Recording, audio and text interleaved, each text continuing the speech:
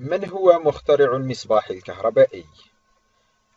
توماس إديسون مخترع المصباح الكهربائي اخترع الأمريكي توماس إديسون المصباح الكهربائي وطوره واخترع نظاما يعتمد على توليد الكهرباء بالإضافة إلى أداة تسجيل الصوت كما اخترع العديد من الأجهزة التي لعبت دورا كبيرا في التأثير على البشرية وهو رابع المخترعين الأكثر إنتاجا في تاريخ البشرية وذلك لما أنجزه من اختراعات هائلة مثل آلة التصوير السينمائي وتطوير جهاز الفوتوغراف واختراع المصباح الكهربائي المتوهج الذي يبقى لمدة طويلة.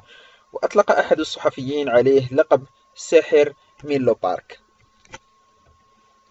حصل إديسون في سنة 1903 على براءة الاختراع التي شملت اسمه. كما تضمنت البطارية الكهربائية والاقتراع الآلي والصور المتحركة ومسجل الموسيقى وساهم أيضا في تطوير نظام توليد القوة الكهربائية وتوزيعها على الشركات والمنازل والمصانع وهو من أوائل المخترعين الذين اعتمدوا مبدأ العمل الجماعي والإنتاج الشامل الذي اشتمل على نطاق واسع من أجل اختراع واستطاع أن يكون أول من أنشأ مختبرا للأبحاث العلمية. ولد هذا المخترع توماس إديسون في مدينة ميلون في ولاية أوهايو في الحادي عشر من شهر فيفري من سنة 1847 ودرس فيها لمدة ثلاث شهور حتى أتم الثانية عشر من عمره. وبعد ذلك انتقل إلى بيع الصحف على السكك الحديدية مما مكنه من الحصول على حق بيع الصحف بالشراكة مع أربعة شباب آخرين.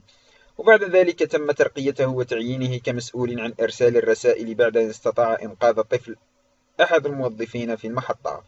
وخلال ذلك الوقت تمكن من اختراع آلة تلغرافية ترسل, آلي ترسل آليا على خط واحد دون الحاجة إلى وجود شخص مستقبل أو مرسل. ثم انتقل إلى العمل في بوسطن حيث كرس كل حياته في الاختراع والبحث. ما هي أهم اختراعات توماس إديسون؟ استطاع توماس إديسون تسجيل أكثر من ألف براءة اختراع له واستعمل خطأ واحدا من أجل إرسال البرقيات استعمل خطا واحدا من, أرج... من أجل إرسال البقي... البرقيات مما مكن ألكسندر بيل من اختراع الهاتف. تمكن من اختراع الهاتف الكربوني. استطاع اختراع المصباح الكهربائي في سنة 1879 والذي حقق نجاحا كبيرا.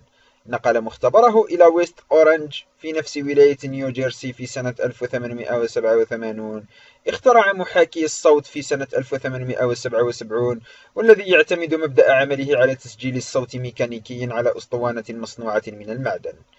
أنتج أول فيلم صوتي له سنة 1913 طور وركب محطة الطاقة الكهربائية المركزية الكبيرة في سنة 1882 والتي تعد الأولى في العالم.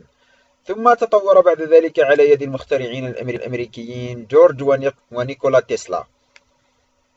تمكن بعد الحرب العالمية الأولى من اختراع نظام التوليد للبنزين ومشتقاته من النباتات. استطاع سنة 1888 من اختراع كينيتوسكوب الذي يعد أول جهاز لعمل الأفلام. تمكن من اختراع تلغراف لاسلكي لاستعماله للاتصال بالقطارات. كما اخترع بطارية تخزين قلوية ذات قوة كبيرة بفعل تجاربه الكثيرة وخبرته الواسعة.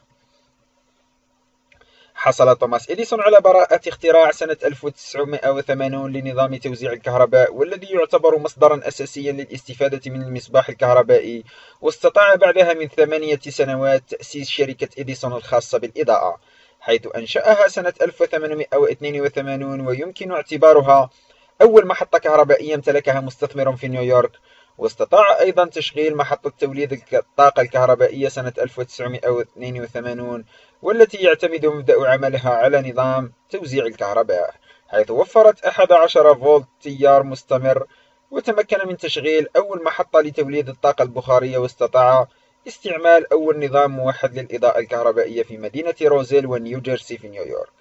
توفي توماس إديسون نتيجة تعرضه لمضاعفات مرض السكري في الثامن عشر من أكتوبر من سنة 1931 وذلك في منزله الكائن في حديقة لويلين في مدينة ويست أورنج في ولاية نيوجيرسي ودفن خلفه.